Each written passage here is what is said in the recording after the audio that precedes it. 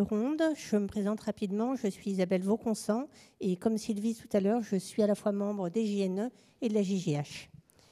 Les haies, tout le monde s'accorde aujourd'hui à leur trouver des qualités, des utilités, même une beauté. Pour autant, on arrache encore 23 500 km de haies par an, alors qu'on n'en replante que 7 000. Le compte n'y est pas. Ce soir, nous avons donc rassemblé quatre intervenants que je vais laisser se présenter pour rappeler d'une part ce qui a conduit à cette disparition des haies, débattre de la multiplicité de leurs qualités et se demander comment rendre vie au territoire en replantant des haies. Dans un premier temps, euh, Sonia, est-ce que tu peux, s'il te plaît, nous dire ce que c'est qu'une haie et puis nous raconter un peu comment elles ont disparu en France? Bonjour, merci Isabelle. Alors, je ne suis pas sûre d'être la mieux placée hein, pour, euh, pour dire ce qu'est une haie. Oui, je suis juste une écrivaine amoureuse des haies. Et du coup, j'ai écrit un, essai sur la haie comme objet de pensée.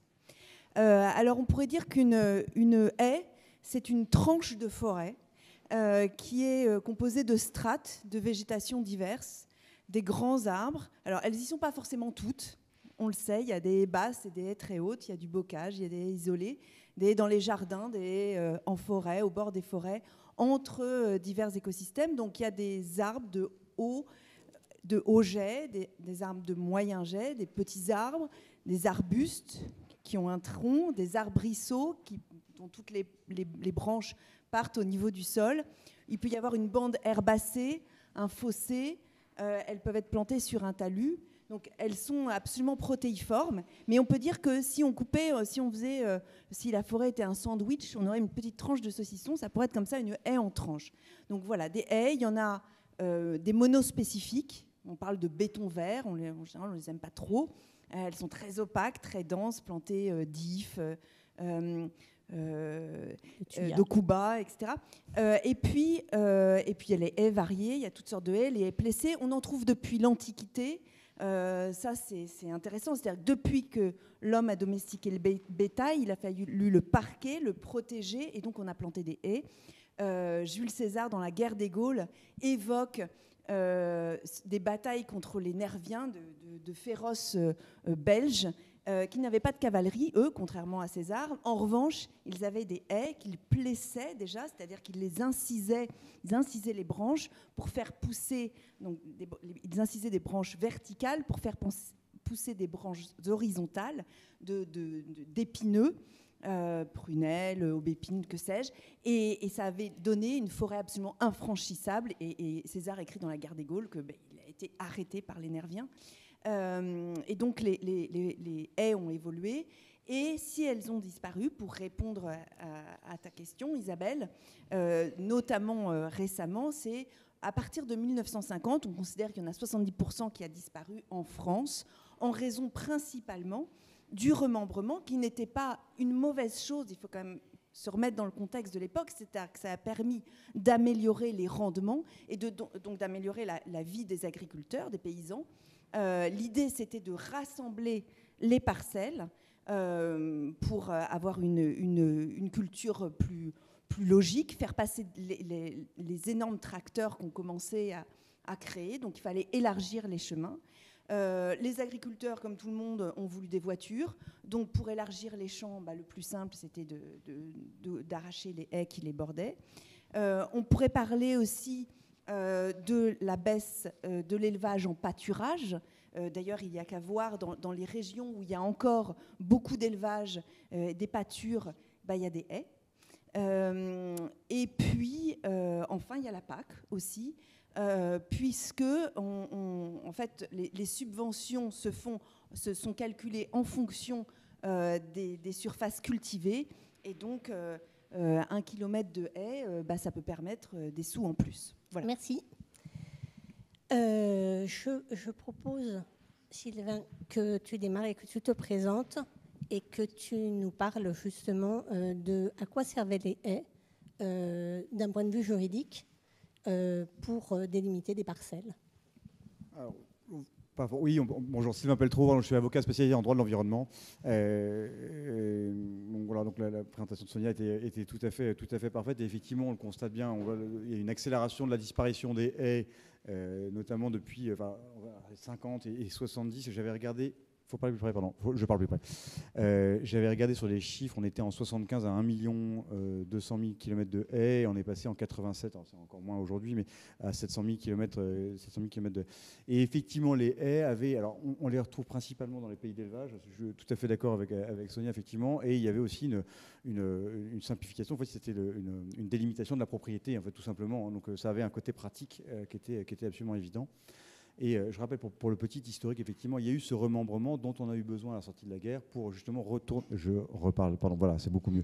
Euh, ce remembrement à la sortie de la guerre, effectivement, qui a euh, permis aussi d'augmenter les rendements agricoles et de permettre une certaine forme d'autonomie. Donc voilà, donc on voit aujourd'hui qu'il y, a un recadrage à faire. et, et, ce qu'on est en train de faire du reste avec notamment les différents plans dont on pourra peut-être parler tout à l'heure. Donc moi, la question que, j'aimerais vous poser, c'est aussi à tous la question des usages. Attends, on, va d'abord finir le tour ah, de présentation, si ça t'embête pas. Il n'y a aucun souci. Euh, est-ce que, voilà, est que tu peux te présenter et euh, nous, nous dire quel est ton rapport à la haie donc, euh, je m'appelle François Mercier, je suis agriculteur dans le département de la Marne. Je suis un, un céréalier dans les grandes plaines agro-industrielles. Euh, amoureux de nature et de biodiversité, j'ai, sur le sein de mon exploitation, par l'intermédiaire d'implantation de, haies, de buissons, de bandes enherbées, mais aussi fleuries, réussi à retrouver une biodiversité animale et végétale dans un système d'exploitation tout à fait euh, euh, viable économiquement. Et j'en suis fier. Voilà. Agnès? Donc moi, bonjour, je suis Agnès Sourisseau, je suis à la fois euh, paysagiste et agricultrice. Euh, je me suis beaucoup intéressée en tant que paysagiste au, sol dégradé par euh, différentes raisons et comment restaurer en fait ces milieux dégradés. Donc je me suis intéressée à la place de, la végétation et, et, la manière dont elle pouvait contribuer à restaurer des sols dégradés. Donc euh, j'ai travaillé sur euh, euh, des expérimentations d'implantation d'arbres, non pas par plantation, mais par semis direct ou alors par colonisation assistée. Donc c'est pareil quand on dit qu'il y avait des haies qui avaient été plantées à l'époque, je ne suis pas sûre qu'elles aient été plantées comme on l'entend aujourd'hui. Peut-être que c'était aussi de l'accompagnement de la végétation spontanée à voir. en tout cas, c'est des questions aujourd'hui qui sont vraiment importantes de savoir le symbole de, la plantation est très fort. En revanche, euh, la place de l'arbre en milieu agricole est une question qui doit être euh, traitée d'un point de vue euh, global. Donc voilà, moi je m'occupe de, cette manière de réintroduire des arbres en milieu agricole. Et, de fait, depuis 2016, avec plusieurs collègues, on, a monté une association qui s'appelle Agrophile. Agrophile, ça veut dire agroforesterie en Ile-de-France, pour euh, essayer de voir le juste euh, arbre au bon endroit. Euh, et donc là, il y a des typologies très très variées et c'est souvent une source de, d'enthousiasme pour les agriculteurs qui choisissent de, passer par là. Et donc c'est bien. et donc l'utilité de la haie. Euh, donc je souhaitais euh, commencer euh, parler de l'utilité de, la haie en disant qu'on a tendance à critiquer, en tout cas plusieurs personnes ont tendance à critiquer l'impact de l'être humain sur la nature en s'opposant, en opposant finalement être humain et nature ce qui est plutôt, euh, on va dire, euh, le clan occidental et euh, pas forcément la même définition pour l'ensemble des pays. or, la haie est avant tout un outil, pour l'agriculture et un outil finalement créé par l'être humain et pourtant permet être un, qui permet un, un réservoir de biodiversité de venir et ce qui permettrait, semble-t-il, d'avoir une réconciliation entre euh, les différents usages et les différentes utilités de la haie. Euh, et donc, euh, je me tourne euh, vers toi, François. J'ai eu le plaisir de, lire ton ouvrage et surtout, je vais te citer, puisque tu parles d'un formidable paradoxe. tu dis que c'est parce que je chasse de la perdrix grise que je protège et qu'elle est encore présente sur mon exploitation. Alors, souvent, il y a ce qu'on appelle le bon et le mauvais chasseur sans paraphaser les, les inconnus. Qu'est-ce que tu pourrais dire d'un chasseur gestionnaire et finalement de de ton rôle euh, euh, finalement méthodologique pour être euh, un bon agriculteur, d'être dans le plaisir et en même temps dans le respect de la biodiversité C'est très complexe. Très complexe. effectivement, la gestion de la perdrix grise sur mon territoire a été le fil rouge de tous les aménagements que j'ai pu faire, que j'ai aménagé, détruit, refait, dépéracé au fil des ans afin de correspondre le mieux aux, besoins biologiques de l'espèce, et ce tout au long de l'année. On voit aujourd'hui des gens qui mettent euh, une belle jachère fleurie, c'est beau, c'est politiquement très correct, mais le reste de l'année, euh, la perdrix, elle n'a rien à bouffer. Et les fleurs, la perdrix, elle n'en veut pas. Vous regardez ce qu'il y a dans son jabot et ce qu'elle consomme, c'est des plantes qui poussent spontanément dans son milieu. Et c'est fort de toutes ces observations que j'ai créé sur euh, mon exploitation une mosaïque de haies, de buissons, mais aussi de bandes enherbées et ou fleuries. Et aujourd'hui, on, peut parler de, chiffres, si certains connaissent les, comptages qui sont réalisés sur mon exploitation, euh, on dénombre plus de 40 couples de perdrix au 100 hectares alors, au printemps, au printemps, avant reproduction, alors que la moyenne Marne est de 7, euh, je crois, si je ne me trompe pas. Donc voilà, c'est vraiment euh, tout un écosystème que j'ai remis en route et qui fonctionne. Et par ricochet, eh ben, c'est aujourd'hui près de 80 espèces d'oiseaux qui sont recensées, euh, qui vont du, plus petit, les trachépates, les trachémoteux, euh, et toutes les espèces de rapaces euh, qu'on peut voir revenir, les busards Saint-Martin, cendrés, busards du roseau. Et, tout ce monde-là vit en parfaite harmonie. Les, les, perdrix qui sont sur un territoire accueillant ont les moyens de se protéger d'une attaque d'un rapace parce qu'il y a un couvert à portée d'elle. Et donc les rapaces ne ne sont pas du tout des concurrents pour moi. Et je suis même content de, voir tout ce panel d'espèces sur mon exploitation. Et, aujourd'hui, ben, je, suis content de, ce que j'ai fait. J'ai écrit un petit livre pour essayer de, plaidoyer et de faire comprendre euh, aux agriculteurs, mais aussi aux chasseurs, que c'est à eux euh, d'abattre les atouts qu'ils ont dans les mains, parce qu'ils en ont, mais ils n'en ont pas toujours conscience. Et il y a des montagnes à faire bouger, mais j'essaie de, je pousse dans le bon sens, j'essaie de les faire bouger. Et je suis content euh, que Manon m'ait convié ce soir pour euh, essayer de faire entendre cette voix. Voilà. Euh, il y a une chose qui a été dite que je trouve extrêmement intéressante, c'est observation, François, et évidemment de l'homme de terrain. Et je pense qu'un des énormes atouts de la haie, on n'en parle pas beaucoup, c'est que c'est un, écosystème très riche, ça on le dit, mais un écosystème de proximité. C'est-à-dire que c'est très simple, même à Paris, d'aller se balader le long des haies. On peut les fréquenter. Et donc on peut les observer et amener les enfants euh, il y a eu des choses très intéressantes euh, qui vont, à mon avis, dans le sens de tout ce qu'on va dire, qui, ont été dites à la table ronde précédente.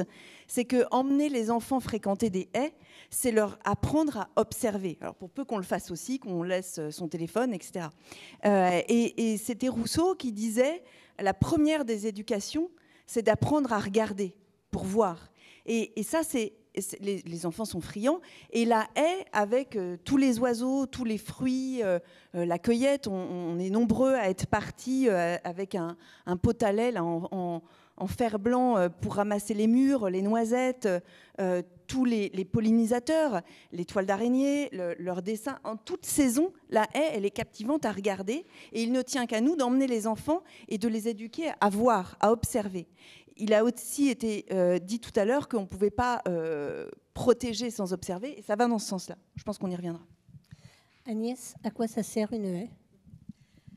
Alors, une haie, je, pense qu'elle a euh, effectivement un fort potentiel attractif d'observation, mais c'est surtout un usage avant tout. Et, un usage, ça veut dire que c'est intéressant aujourd'hui de voir comment elles sont gérées, les, les haies.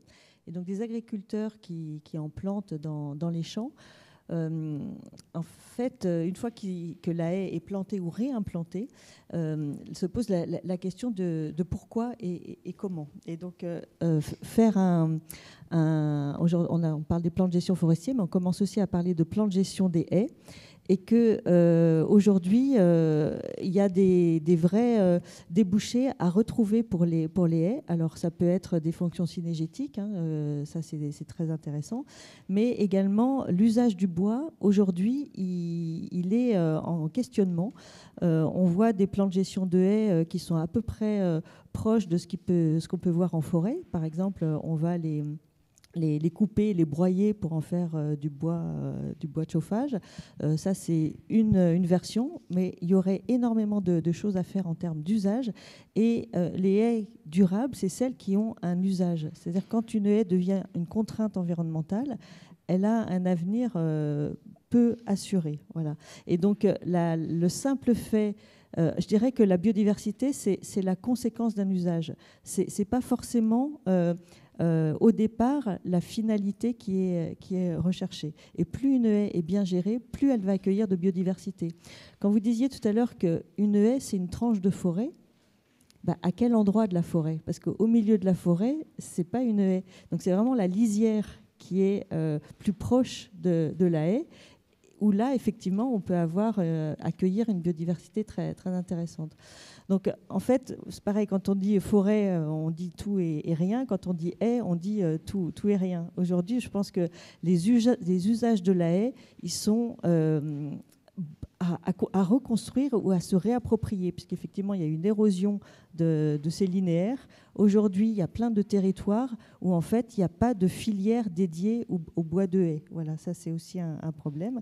on peut alors aujourd'hui, on parle de, haies fruitières, de haies, euh, voilà, de, haies brise-vent. Donc ça, c'est un, usage qui est intéressant pour les agriculteurs parce qu'il y a plus de productivité à l'abri des vents. Mais il ne faut pas que ce soit trop à l'ombre des haies parce que là, il y a une baisse de productivité. Donc tout ça, en fait, c'est une gestion du territoire qui implique euh, plusieurs acteurs. Et la responsabilité, elle, est, euh, elle devient collective à ce niveau-là.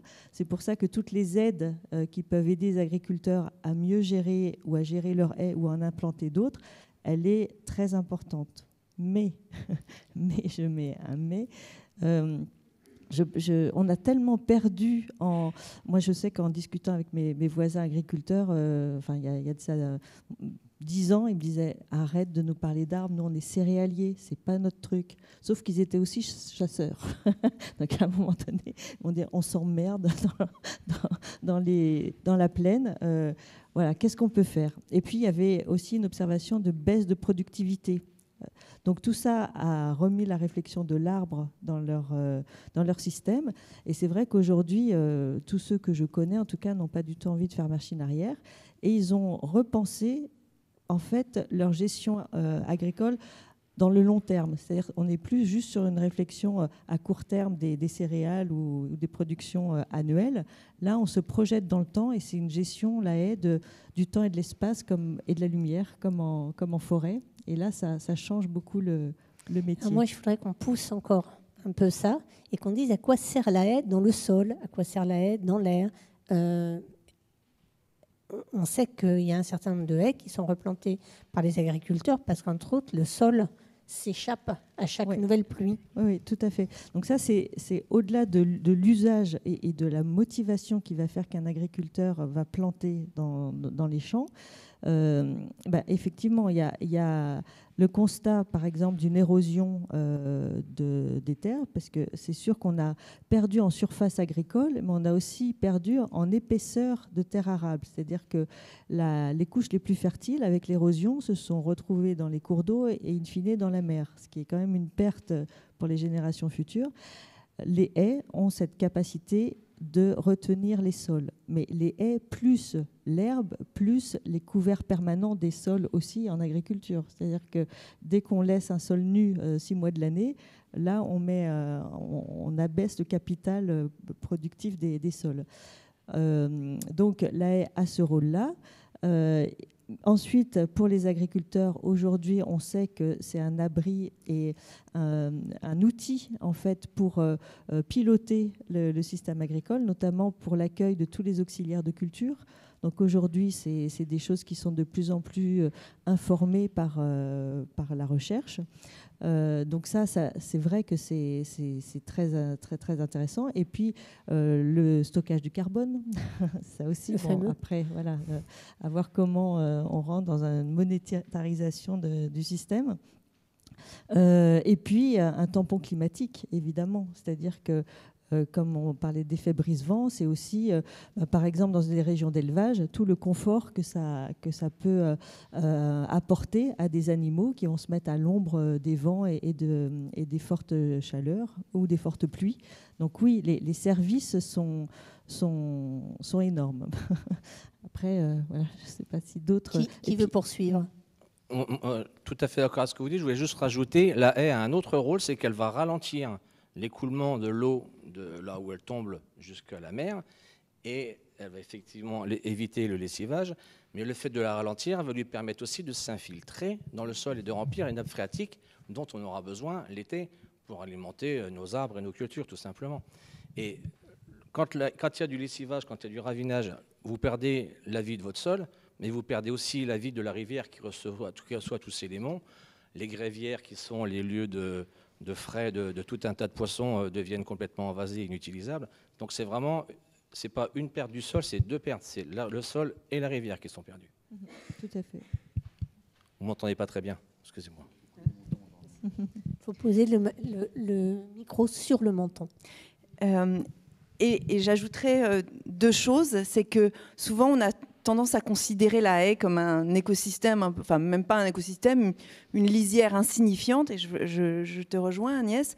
Euh, on parle d'écotone en écologie, c'est-à-dire que euh, la haie, c'est pas zéro, c'est plus que 1 plus 1. C'est-à-dire qu'elle elle réunit les qualités des deux écosystèmes qu'elle borde. C'est pour, ça qu'elles sont si riches, notamment en termes de biodiversité.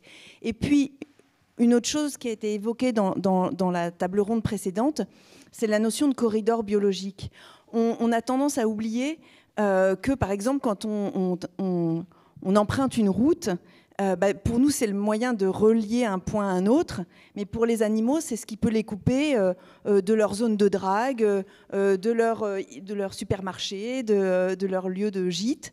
J'anthropomorphise un peu à dessein, mais c'est très vrai.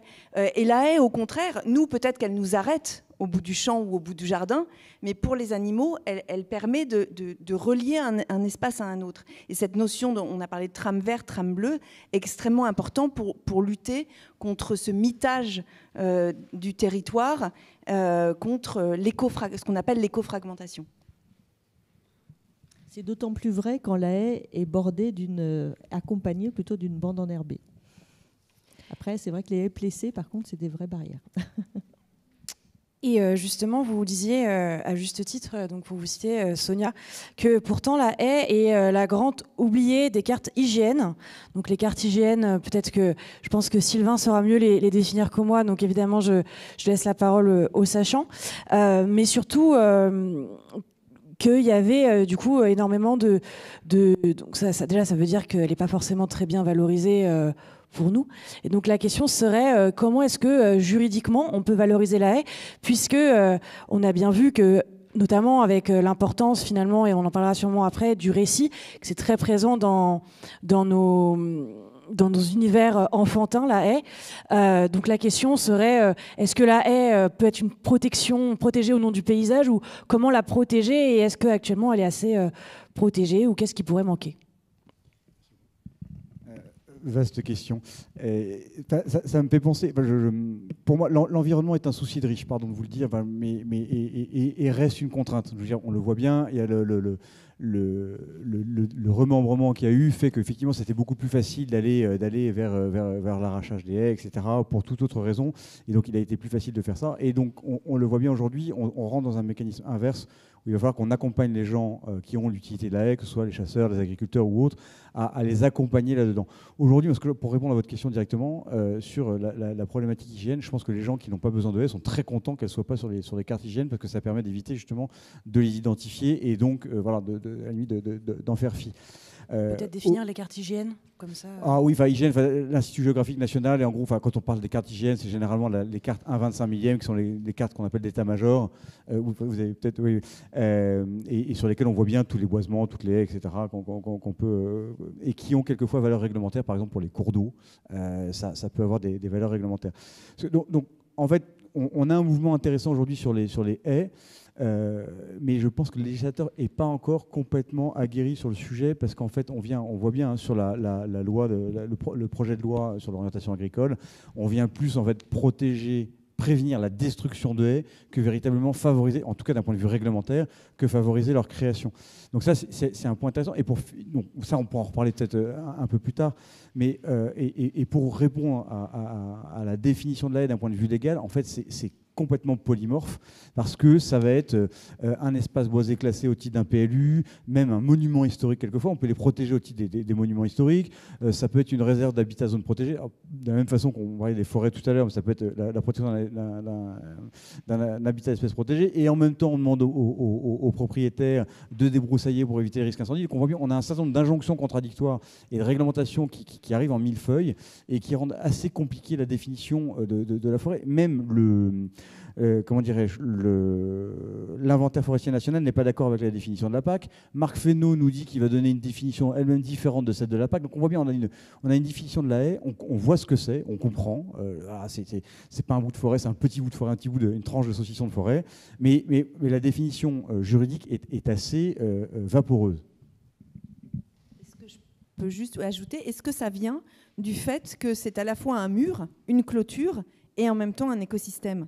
Je pense que c'est cette tension qui, à la fois, rend la absolument passionnante, dans, de toutes les façons, euh, écologiques, historiques, économiques, politiques même. Euh, mais juridiquement, c'est compliqué.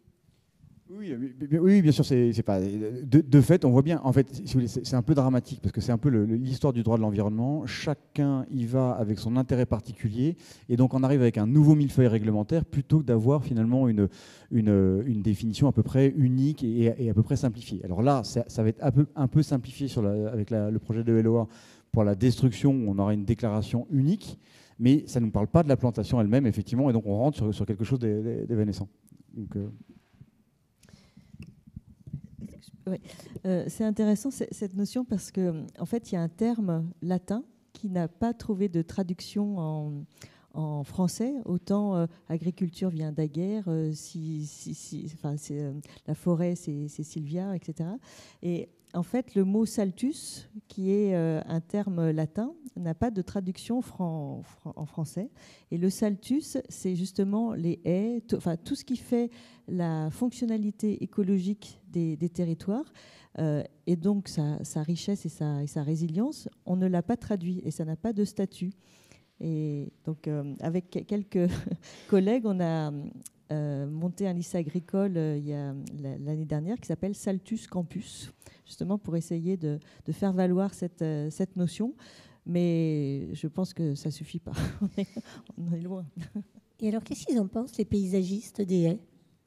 Ah, Je ne sais pas. je, n'ai pas la prétention de représenter les, paysagistes. En, fait, le, problème, je dirais, des, corporations euh, professionnelles, c'est qu'il euh, y, a, y a parfois des, formations qui, déforment, en fait. Euh, c'est certainement pas les paysagistes qui font le paysage. Voilà. Et les paysagistes tels qu'ils sont formés travaillent beaucoup en milieu urbain et pas tellement en milieu rural. Euh, et, surtout quand la, la, haie est perçue comme un élément d'ornement du paysage, là je pense qu'on va vers un écueil euh, profond. Voilà. C'est-à-dire c'est la, beauté des paysages est la résultante d'un usage qui est euh, équilibré, enfin je sais pas comment dire, d'un bon usage. On ne peut pas décréter en fait que quelque chose est, ornemental et encore moins euh, pour, le, paysage. Donc je ne sais pas, il faudrait qu'il y ait d'autres paysagistes. Je ne pense pas être représentatif des paysagistes.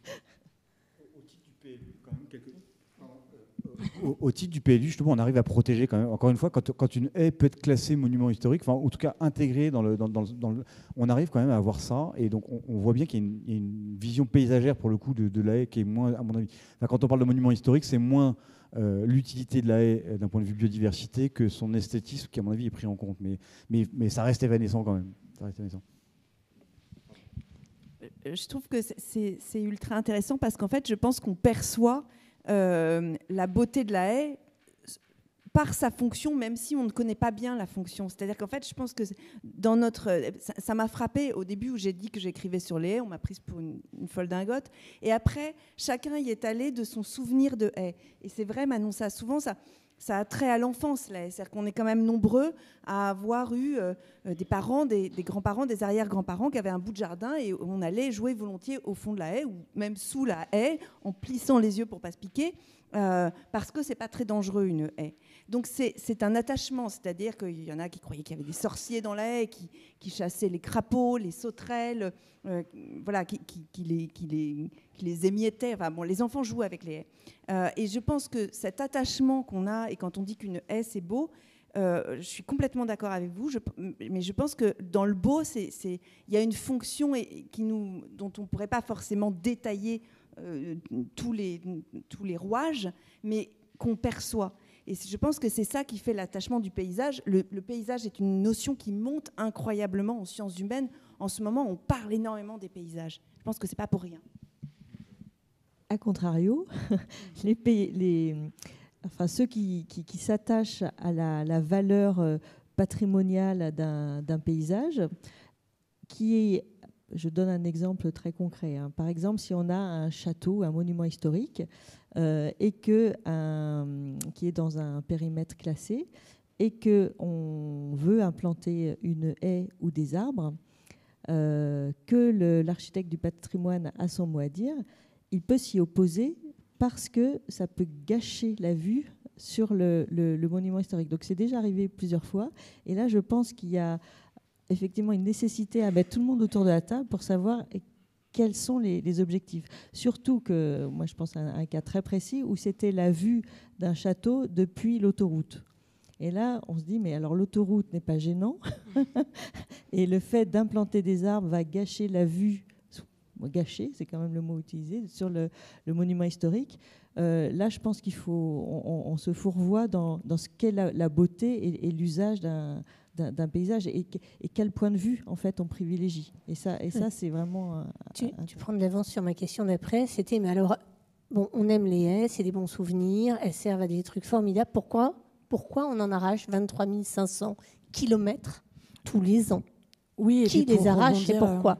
Pour rebondir sur ta question, Isabelle, c'est aussi euh, euh, est-ce que finalement la pédagogie ne peut pas être euh, une solution, alors porte ouverte, puisqu'en fait la question qu'on se pose, c'est finalement pourquoi est-ce qu'elle n'est pas assez valorisée? Si jamais elle est arrachée, c'est peut-être que les agriculteurs ou d'autres personnes ne comprennent pas assez bien leur, leur utilité.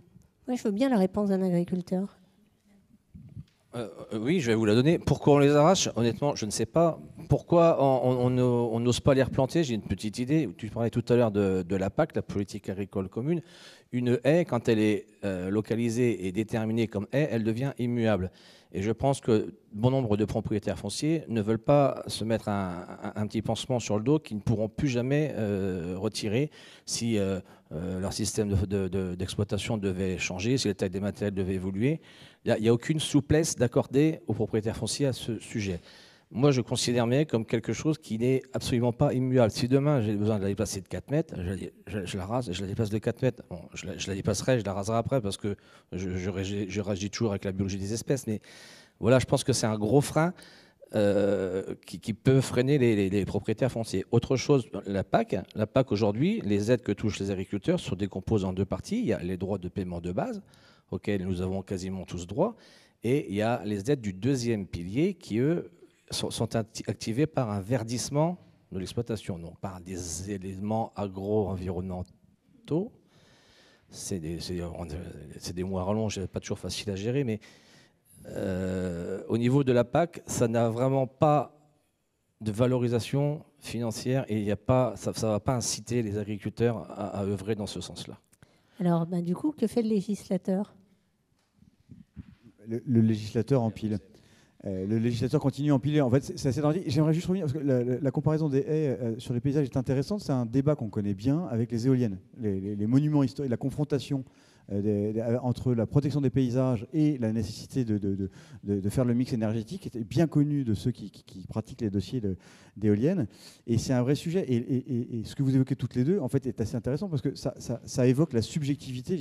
Est-ce que je trouve ça plus beau Le débat sur les éoliennes était assez intéressant. J'avais entendu un journaliste, euh, quelqu'un qui répondait un moment, il dit Moi, je préfère des éoliennes à des câbles électriques. OK. Et, l'autre, peut-être, préférera son monument historique à, son éolienne.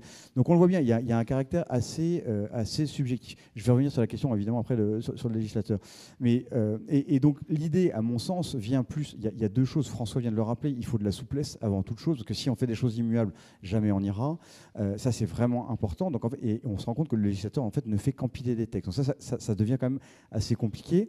Et la, la- chose, à mon avis, avant l'esthétisme, il faut voir l'utilité de la chose pour pouvoir la développer. Et c'est pour ça que je parlais de que- que- quel est l'usage, quel est l'apport. Alors on voit bien, pour un agriculteur, ça peut éviter l'é- l'érosion des sols.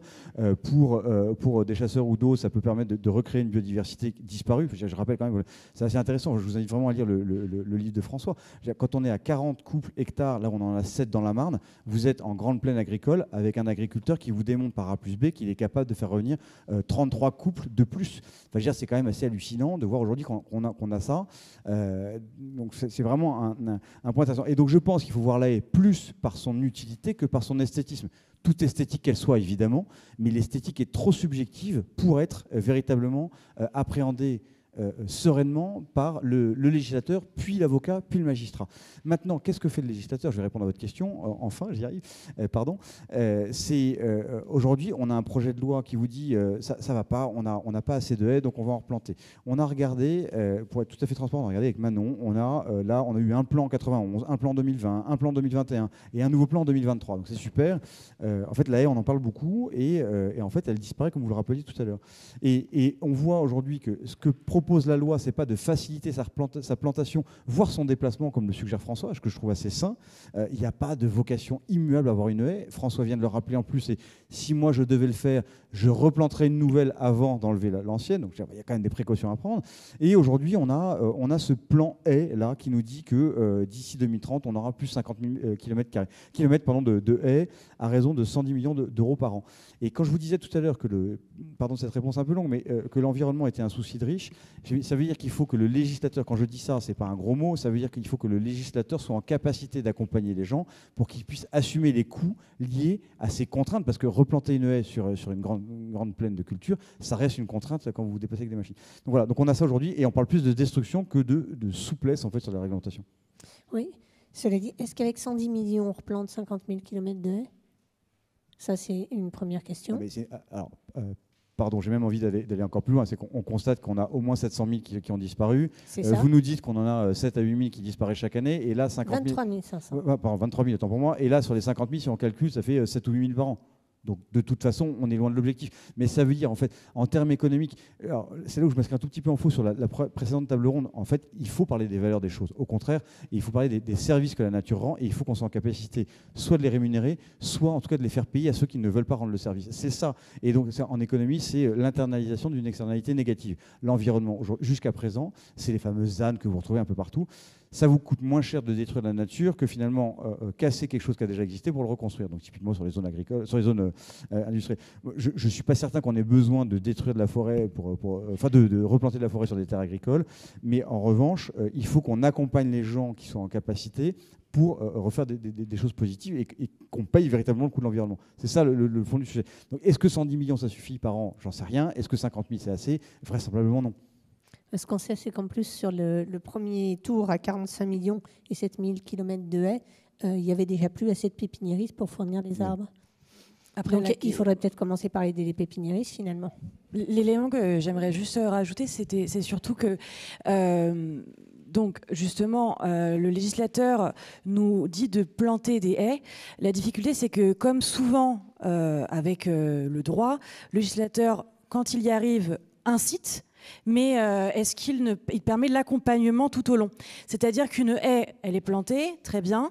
Après, euh, je pense que quand euh, en lisant vos ouvrages à chacun et en en, discutant beaucoup euh, euh, avec Sylvain, vous en aurez compris, la difficulté, c'est que pour la haie, notamment, eh bien, c'est énormément de, de en tout cas de travail. Et j'allais rebondir en demandant, euh, en tout cas en vous demandant, Sonia, euh, j'ai cru comprendre que euh, vous étiez intéressée à la haie grâce à une révélation dans un pays. de ce côté-là, vous n'étiez pas très chauvine. Est-ce que finalement les Français sont des mauvais élèves ou est-ce que finalement c'est tout le problème européen à, à part ces personnes qui nous ont quittés récemment? Non, alors je voudrais juste rectifier, c'est pas que je suis pas chauvine. C'est vrai que j'ai eu cette révélation de l'intérêt des haies d'un point de vue philosophique, en fait, comme objet de pensée, quand j'étais en Angleterre, dans le Yorkshire, et je me, baladais dans des, ce qu'on appelait des jardins ouvriers, euh, potagers partagés, je ne sais pas. Euh, et, j'avais mon chien qui était tout fou. Et tout à coup, je me suis dit, mais oui, ce sont des murs vivants. Et j'ai regardé les haies et je me suis dit, c'est cet antagonisme que j'évoquais tout à l'heure.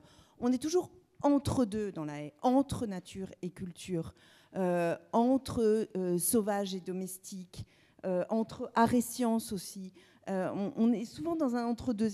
C'est un peu faire l'expérience illimitée du bord. mais ce qu'on n'a effectivement pas beaucoup dit, c'est que la haie, il faut l'entretenir. Alors il y a, un, écrivain paysan, comme il se dit lui-même, Jean-Loup Trassard, qui, qui, décrit merveilleusement le travail des haies euh, des trognes. Euh, il y a une, belle expo là, de la LPO dehors.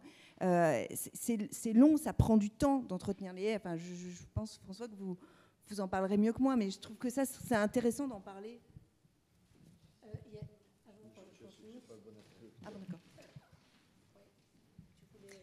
En, fait, je, je, voulais juste dire que si c'est un problème philosophique, c'est aussi un problème technique. C'est-à-dire que euh, là, on met en avant des financements pour de la plantation. Euh, je ne sais pas comment vous avez planté vos, haies, mais ça m'intéresserait de savoir d'ailleurs. mais en, tout cas, euh, on a aujourd'hui des itinéraires techniques qui sont enfin, effectivement euh, problématique quand, par exemple, on a un plan de relance qui dit qu'il faut planter euh, tant de kilomètres de haies et que les pépiniéristes forestières ne sont pas capables de suivre et que, par exemple, en Ile-de-France, on n'en a pas de pépinière forestière, donc bon, on ne peut pas y arriver, en fait. On est... Et qu'on sait qu'aujourd'hui, la plupart des haies dont on parle, elles n'ont pas été plantées, elles ont été le fruit, en fait, bah, je ne sais pas, moi, par exemple, on est sur des petites terres, on, on épierre le, champ et on met les cailloux au, bord du champ, ça fait une haie. Donc en fait, il y, a plein de façons, comme en forêt, il est mieux de faire de la régénération naturelle assistée. La plantation, je ne suis pas sûre que ce soit à l'avenir en fait. Et nous, euh, au sein d'Agrophile, on, a, enfin moi j'ai déjà, ça fait 20 ans que je travaille sur cette question-là. Euh, je vous invite à venir euh, voir sur mon exploitation comment il n'y a pas un arbre qui a été planté. Si j'en ai planté, j'en ai planté des morts. Pourquoi? Parce que ça fait des perchoirs à oiseaux et donc, c'est les oiseaux qui sèment les, arbres.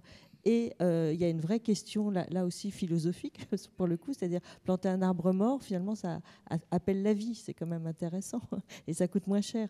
Donc, en fait, il y a une débauche de moyens pour les plantations avec des résultats qui sont parfois décevants. Aujourd'hui, c'est un problème aussi technique. Comment on, fait revenir des, ligneux, parce que ce n'est pas que des arbres, c'est aussi des arbustes, etc.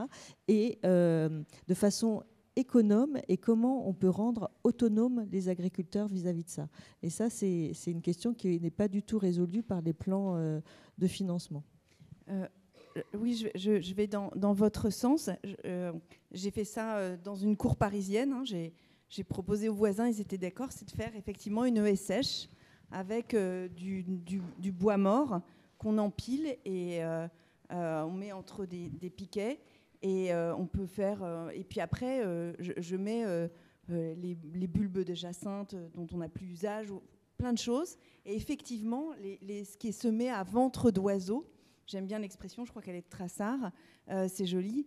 et ben voilà, c'est comme ça que les anciens faisaient souvent les premières haies. Effectivement, n'avaient pas forcément été plantées, mais étaient des, des haies sèches et qui devenaient, qui devenaient vivantes. Et, cette, cette, idée de faire de la vie avec du mort est aussi extrêmement intéressante. Alors, oui. Vous me demandiez comment j'avais planté mes. Alors, j'avais répondu à, Moba avec une bêche. Euh, j'ai acheté aucun arbre, c'est beaucoup des bouturages mhm. et quelques plants qu'on m'a donnés. Et cette haie, enfin les premières, elles ont une trentaine d'années. Je m'aperçois que les arbres que j'ai mis qui ont disparu. Et puis il y a des arbres que je n'ai pas mis qui eux sont apparus. Hmm. Alors tu disais comment je fais pour les entretenir? Chez moi c'est très simple, je ne les entretiens pas. Elles vivent comme elles veulent. Les essences qui se plaisent dans mon terrain et dans mon climat, elles se développent. Et les essences qui ne se plaisent pas, elles disparaissent, tout simplement. Les jachères fleuries que j'ai ensemencées, bon, on, dérive un peu de lait, mais on reste quand même sur de la biodiversité. On, a semé des, espèces euh, de centaures, de, de, bleuets, de coquelicots, de choses que, que nous, œil humain, on trouve très jolies, et c'est très joli. Et c'est aujourd'hui, elles ont 4 ans, 5 ans, et tout ce que j'ai semé a disparu. Et ce qui reste aujourd'hui, ben, c'est les armoises, euh, le plantain, le chardon, euh, du vulpin. C'est toutes les espèces endémiques de mon terrain. Et je ne vais pas euh, lutter contre elles pour en mettre une qui est plus belle à mes yeux. Les, aménagements, ils ne sont pas faits pour moi, ils sont faits pour les animaux. Est-ce que vous pensez l'un et l'autre que les effets du, bouleversement climatique vont remettre en cause les haies et les essences qu'on trouve dedans? J'ai pas bien compris la, fin de votre phrase. Les haies, et... et les essences qu'on va trouver dedans. Ma, foi, je fais un peu comme le forestier. Je, je peux que constater euh, les frênes, ils meurent, ils meurent, ils meurent. on peut pas, on peut pas se battre contre des champignons, contre des insectes. Euh, il faut espérer que la nature va faire ces choses. Toute espèce animale ou végétale euh, s'adapte ou disparaît eh ben, il va falloir qu'elles fassent leur job aussi. Euh, le réchauffement climatique, ben, on peut que le subir, moi j'y peux rien. Si à mon échelle je fais ce que je peux, on est tous des fourmis au milieu d'un monde que, que, nous détruisons nous-mêmes hein, finalement. Et je, reste juste spectateur, je constate. Et alors? Mais je, trouve que je, trouve que la nature, elle s'en sort vraiment bien. Ils sont, ils sont quand même beaucoup plus adaptables que nous. Et, euh, aujourd'hui, il y a, hum, des, pistes comme l'origine génétique euh, locale des, végétaux plantés.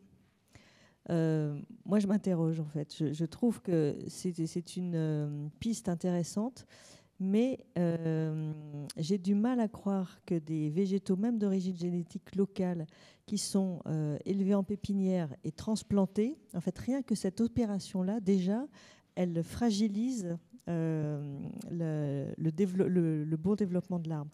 Je me dis que des graines apportées euh, à ventre d'oiseau À ventre d'oiseau, voilà, qui ne sont pas forcément d'origine génétique locale. Euh, quand elles germent là où elles sont censées pousser, ont une résilience qui est supérieure. Et moi, j'ai pu le voir depuis 20 ans sur les expériences que j'ai menées. Tous les arbres que j'ai plantés, ont eu beaucoup de mal à s'implanter sur des sols euh, vraiment très dégradés et j'en ai planté très peu. En fait, c'est juste en comparaison avec ceux que je semais. Euh, ils n'ont pas survécu, notamment les chênes. J'ai aucun chêne planté qui, a survécu dans les conditions extrêmes dans lesquelles je les, ai plantés. En revanche, tous ceux qui ont été semés sont aujourd'hui euh, magnifiques. Donc c'est pour ça que je, pense que oui, on peut s'interroger sur la génétique, mais je pense que euh, les végétaux ont cette capacité en fait à, s'adapter à partir du moment où ils s'installent euh, là où ils vont grandir, euh, c'est-à-dire du semi-direct. Voilà, j'y crois plus. Personnellement, Et nous, on a le temps? Ah, ça prend pas plus longtemps. Ça prend pas plus longtemps. voilà, c'est ça qui est, extraordinaire, c'est que ça prend pas plus longtemps. Et, et que de toute façon,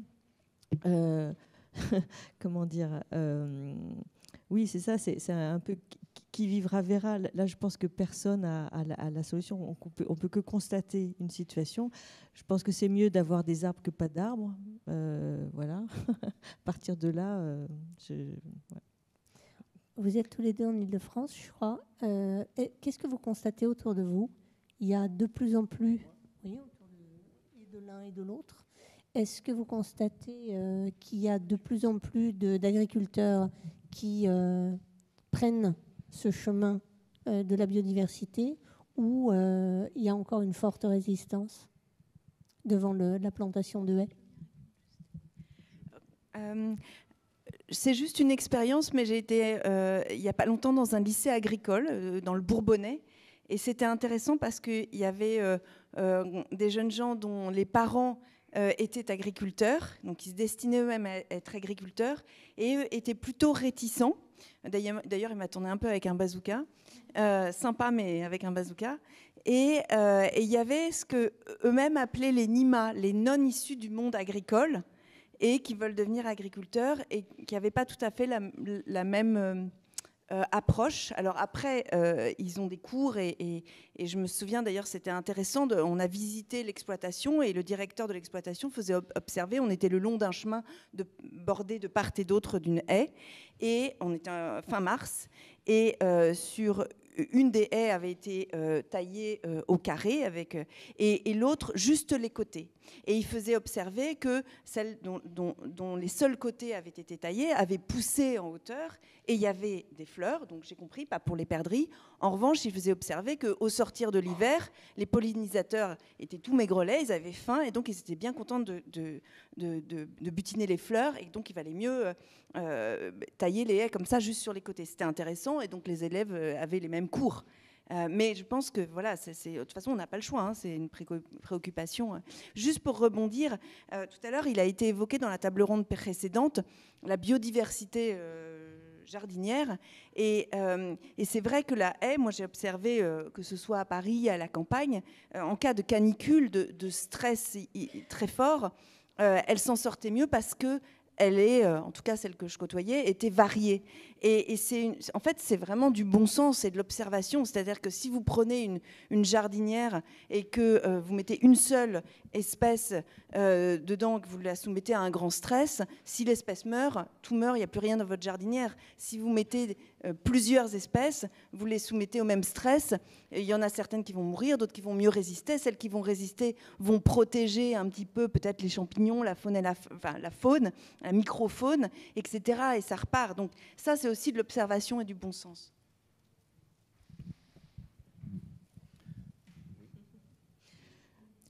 Peut-être aussi dire qu'il faut miser sur, euh, la jeunesse et que je, constate à quel point les, plus les urbains, euh, d'ailleurs, sont capables de protéger des arbres adultes et, pas du tout s'intéresser au, stade juvénile. Et, et, je pense que le stade juvénile des, des arbres est un, est un stade qui n'est pas du tout euh, valorisé ni, ni reconnu. Euh, Peut-être parce qu'il est inconnu parce qu'il est inconnu. Et c'est pour ça qu'on piétine allègrement des, des, arbres en puissance. Et, et ça, c'est quelque chose qu'il faut euh, réussir à, culturellement à se, partager. C'est-à-dire, avant d'être euh, le roi des forêts, il y a eu une petite plantule, et que euh, aujourd'hui, c'est peut-être ça aussi qu'il faut protéger dans, la réglementation, c'est-à-dire le, statut euh, de la, des jeunes plantules non, alors, je suis complètement d'accord avec vous. Moi, je vais vous dire, le, mon principe préféré en droit de l'environnement, vous pouvez mettre tous les principes que vous voulez, c'est vraiment la notion de développement durable. Et donc, du coup, c'est véritablement revenir au caractère cyclique des choses. C'est en fait, et, j'aime bien cette définition qui peut peut-être vous surprendre, mais en fait, le, développement durable consiste à dire, vous servez-vous autant que vous voulez de la nature. Alors, ça, ça, ça peut paraître surprenant, évidemment, et, et c'est choquant si on n'entend pas le reste de l'autre, à condition, évidemment, que vos enfants, donc les générations d'après, aient la même capacité d'usage. Et là où je suis effectivement assez d'accord, on peut voir un grand c'est magnifique, mais il faut voir le fond avant. On peut voir un, arbre tricentenaire, c'est aussi bien effectivement de gérer ça. Et dès lors qu'on arrive à, se mettre dans le temps de la nature et donc dans la gestion cyclique, nous on s'adapte à ça en fait. Hein. Et c'est là où je vous rejoins complètement. Et c'est là où on, doit véritablement renforcer. la gestion cyclique de la nature, véritablement pour la protéger. Et c'est pour ça qu'il faut sortir des raideurs qui, vous, qui vous fige en fait ad vitam. François le rappelait tout à l'heure, si on doit pour des raisons X ou Y, euh, euh, sans, sans, perdre le bénéfice de ce qu'on a fait avant, euh, modifier les choses, il faut que le, législateur soit en capacité de faire ça. Et donc pour repenser, à mon avis, un certain nombre de choses de ce point de vue-là. Mais je, je suis partagé. oui, je, trouvais intéressant le, pour les générations futures, mais déjà dans l'usage de la nature, il y a, je trouve quelque chose d'intéressant, c'est qu'on n'en a pas forcément conscience. Euh, je ne sais pas quel est le coût écologique euh, de mon téléphone, exactement, de mon téléphone portable ou euh, de la crème que je me mets le matin sur le visage. Et ça, c'est un problème. Et et une des choses que je me suis dites à l'issue de, mon travail sur les haies, c'est que, euh, euh, en fait, je, voudrais qu'il n'y ait plus de sans y penser, c'est-à-dire qu'on puisse effectivement arracher une haie, abattre un arbre, on en a besoin, qu'on puisse consommer la nature le cas échéant, mais que ce soit fait sciemment, à dessein, en ayant conscience que euh, pour pousser, la noisette, elle est devenue noisetier, ça lui a pris du temps, que la nature, ça lui coûte. Et, ça, c'est vrai qu'on on, est un certain nombre d'entre nous, et je, me mets dedans, à ne, pas forcément se rendre compte. Et ça, ça passe euh, par l'éducation des enfants. Il est vrai, je le constate aussi, que les, jeunes agriculteurs qui arrivent euh, aujourd'hui sont beaucoup plus sensibilisés à la cause de l'environnement. Mais la génération de mon père, ils ont, ils ont défriché, ils ont arraché des arbres par milliers. C'était, il faut pas leur, jeter la pierre. Il, fallait le faire. C'était l'après-guerre. Il fallait juste donner à manger aux gens.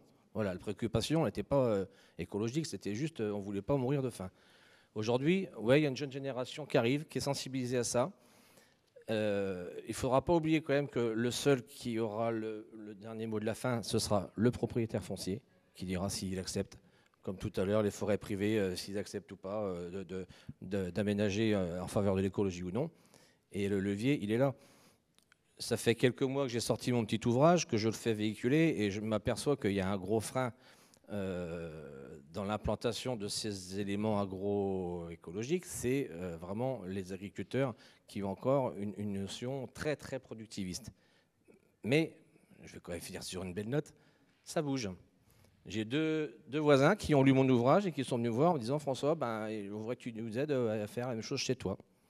Et hier, j'étais aussi dans un lycée agricole où j'ai eu la chance de voir mon livre couronné d'un titre qui s'appelle Culture tabiodive, qui était, qui était euh, lancé par la, Chambre d'agriculture de mon département.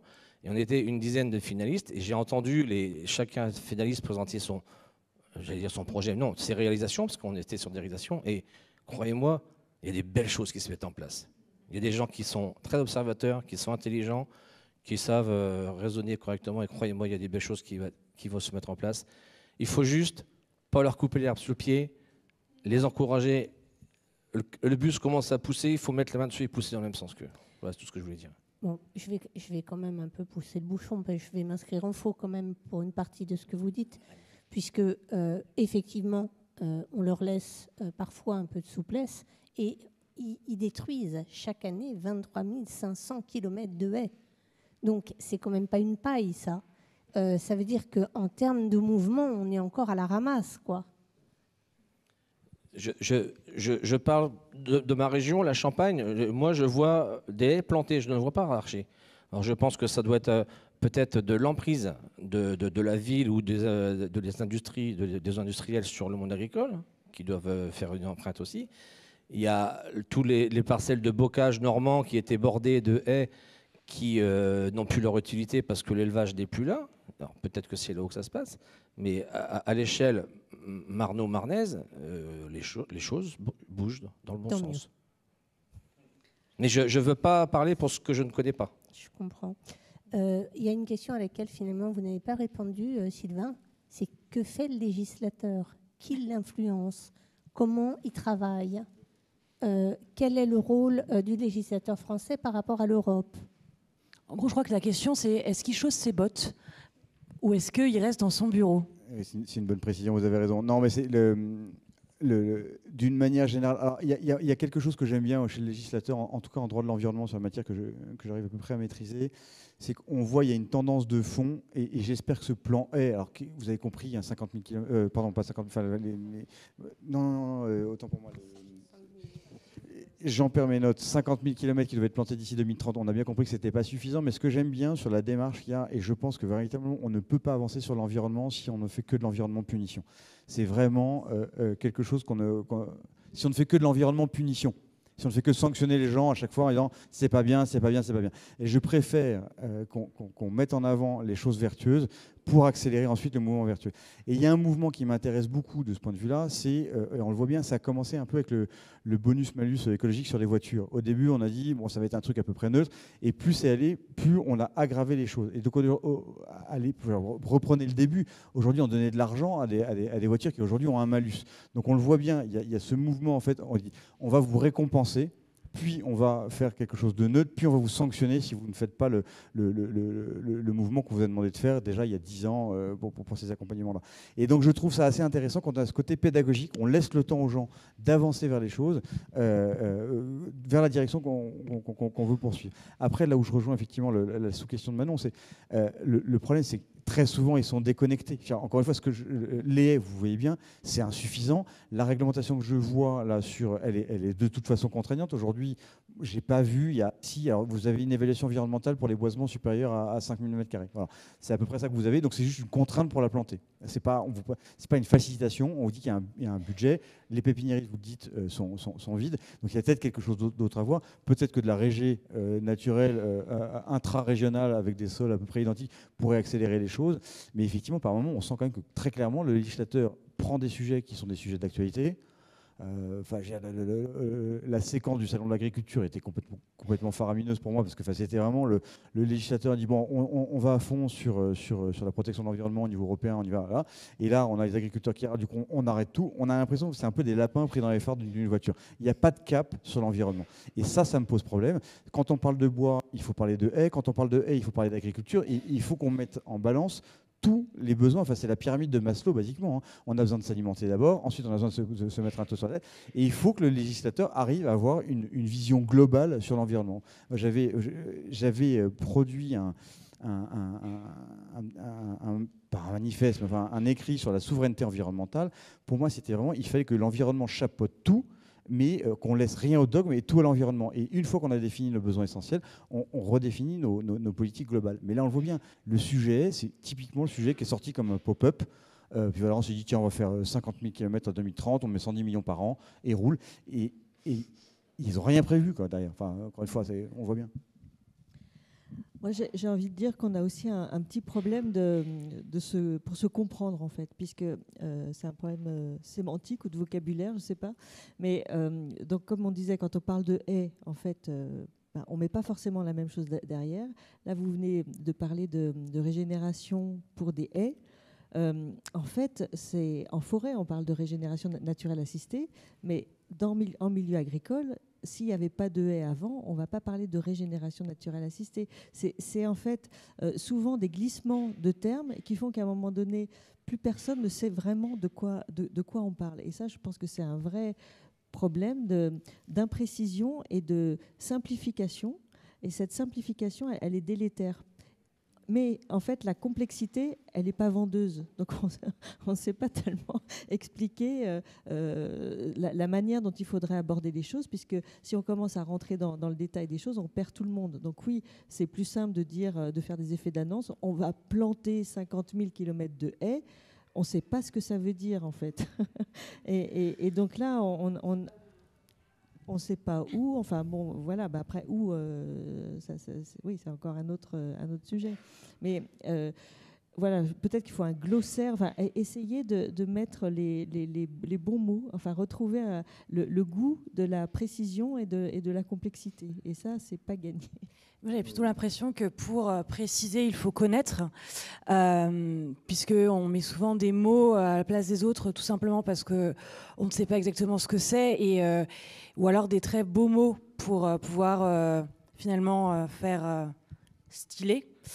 Euh, moi, la question que je me pose, c'est plutôt euh, est-ce que les agriculteurs, justement, euh, eux-mêmes, puisqu'ils peuvent être entendus, et on l'a vu avec leur jet de boue, est-ce qu'eux-mêmes sont assez au courant assez au fait de l'utilité de ces haies, de leur diversité.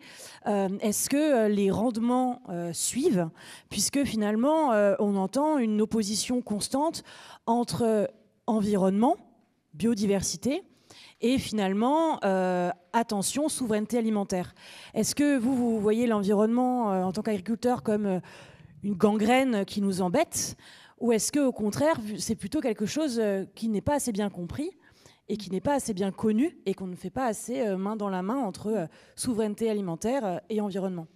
Bah alors déjà, moi, j'aime pas ce mot environnement. C'est-à-dire, je, je, pense que c'est un très, un très mauvais mot, environnement. On n'est pas environné de, de, de, quelque chose, en fait. On fait partie de quelque chose.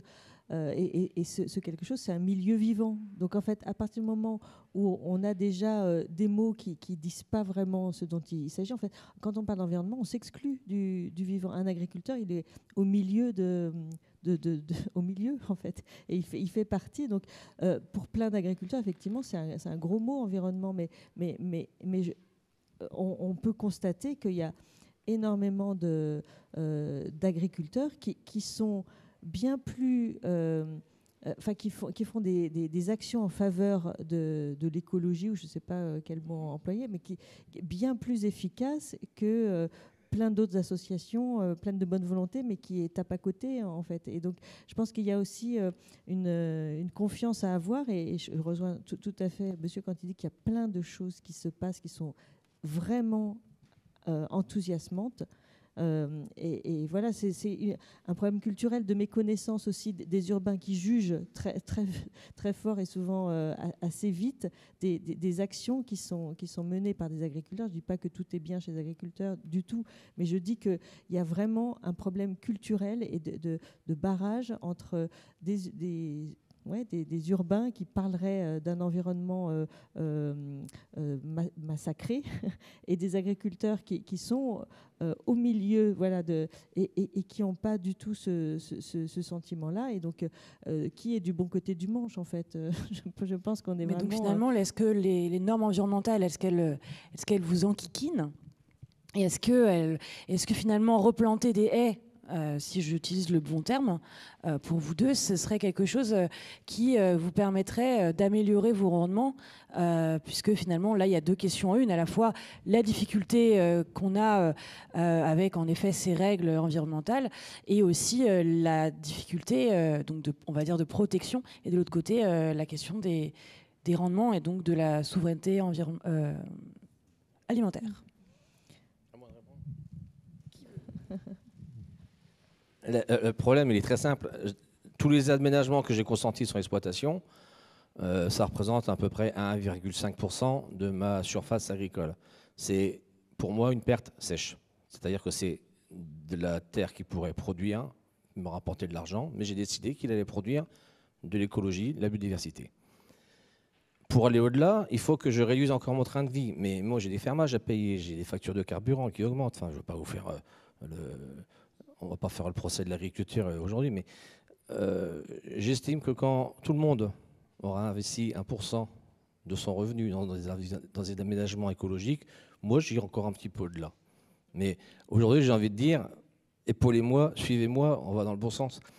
Si, mon livre vous intéresse, j'avais proposé à une association euh, écologique qui est très, très active sur notre secteur et qui on se sent très bien.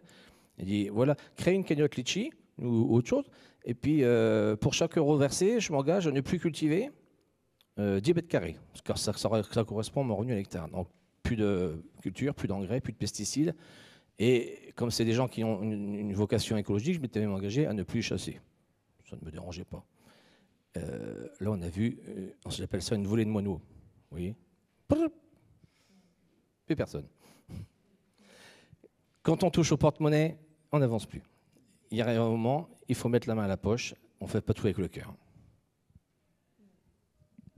Bien dit. Je, suis désolé, c'est la réalité des choses, c'est comme ça. Mais, mais voilà, euh, c'est pas, c'est pas impossible pour autant. La preuve, je l'ai fait, et puis d'autres, d'autres me suivent. Euh, un, lien un tout petit peu lointain, mais euh, pour avoir envie aussi de, peut-être mettre la main au porte-monnaie et de protéger, il faut se rendre compte. Et euh, il y a une notion que j'ai trouvée intéressante en, travaillant, c'est euh, un lépidoptériste, euh, américain qui est spécialiste des papillons, Robert Michael Pyle, qui a développé ce concept d'extinction de l'expérience. Et l'idée, c'est que, alors, ça vient de son enfance. Pour aller à l'école, il traversait un marécage. Il était dans l'Oregon, je ne sais plus, et il avait observé il avait 7 ans, un petit papillon, un petit bronzé d'Amérique, qu'il ravissait. Et euh, un jour, ce marécage a été euh, bétonné pour faire un parking. Et il a pensé, du haut de ses sept ans, qu'il était sans doute le seul à s'être rendu compte que les papillons étaient allés butiner ailleurs. Et il en a développé ce concept donc d'extinction de l'expérience, que quand une espèce disparaît, on ne peut plus en faire l'expérience directe. Et c'est un truisme, mais quand on ne peut plus faire l'expérience directe de, cette espèce, eh ben, le jour où elle disparaît, on s'en rend pas compte.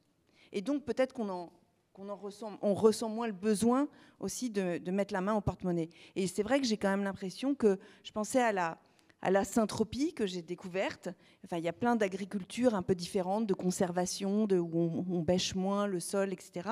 La syntropie, euh, ça vient d'un Suisse, Ernst Botsch, Botch, je crois, qui est allé au, Costa Rica, puis au Brésil, investir justement, enfin, vous devez connaître, des, des, des, des terrains dévastés par les pesticides, etc., complètement desséchés, nus, arides. Et, et, en fait, il s'est dit, il n'est pas le seul hein, à observer que qu'est-ce qui se passe si on, laisse un terrain faire? Ça devient de la forêt. Et donc, il a fait comme fait, euh, comme fait la forêt. Donc, il a laissé euh, euh, tomber les branches pour que se récrée justement un sol, de l'humus. Et, en 10 ans, je ne sais plus, le, nombre d'hectares est ahurissant, 15 000 hectares. Il, a fait une réserve naturelle et, il fait sans, sans, sans, aucun intrant, sans tracteur ni rien. Euh, il, a, un cacao de folie qui est réputé, euh, une, nature euh, qui a recouvré sa santé. donc je pense qu'il y a plein. Et, et cette syntropie, il y a une jeune pépiniériste en Dordogne qui a été une de, ses élèves qui importe ça. Il y a de plus en plus de choses qui sont, qui sont inventées. Alors moi, je ne suis pas agricultrice, je suis juste jardinière à mon petit niveau.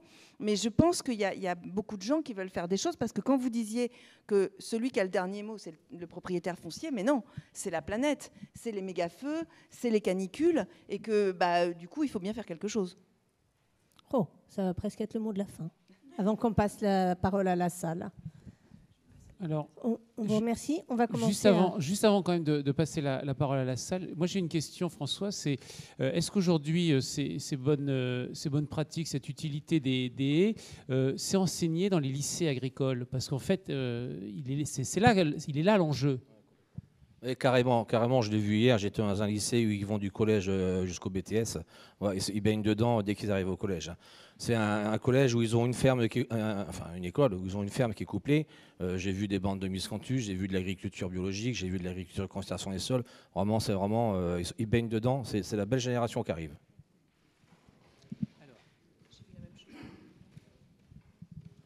Merci pour ce débat qui était extrêmement riche. Euh, vous m'entendez pas? Si. Euh, J'ai beaucoup admiré la petite fille qui va se cacher dans l'ail. Elle est plus chez sa grand-mère, hein. elle, est, elle est dans l'ail. Il n'y a plus de propriétaire de l'ail. Ça, c'est extraordinaire. J'ai beaucoup admiré monsieur qui est capable de gérer son propre voisinage. Ça, c'est formidable. Chaque fois que vous faites votre haie chez vous, vous faites une belle expérimentation sur le plan biologie végétale, mais par contre, euh, peut-être que le voisinage ne se manifeste pas beaucoup, j'en sais rien. Euh, vous avez parlé aussi des, des nerviens. Là, ça introduit une notion de temps extraordinaire, parce qu'on imagine mal les nerviens en train de. Excusez-moi, ce truc. En train de construire leur haie comme ça quand Jules arrive. Non. Elle était depuis longtemps là. Ils l'ont amené sur leur terrain. Il y a cette notion de collectivité, cette notion de bien commun, cette notion de bien public, je ne sais pas comment on peut l'appeler, euh, qui serait peut-être à creuser euh, d'une manière un peu, euh, un peu pointue, parce que vous n'avez pas parlé, vous avez parlé de saltus. Ça, c'est très intéressant, je ne connaissais pas du tout. Et vous n'avez pas parlé de veine pâture. Vous savez, c'était les habitudes qu'avaient nos ancêtres d'avoir des choses en commun. Vous aviez le, le, four à pain, vous aviez la haie du coin, et la haie en Normandie, il y en a qui sont des haies mellifères, c'est-à-dire elles sont faites pour les abeilles. Quand on fait une haie pour des butineurs, on ne travaille pas pour soi. Il n'y a pas un profit. C'est quelque chose de totalement collectif et totalement donné. Voilà, c'est juste cette remarque.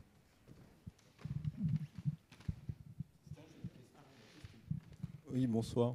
Est-ce qu'il y a un programme de la FNSEA pour inciter euh, les agriculteurs à, remplanter des après les chasseurs, c'est derrière, derrière moi pour les chasseurs.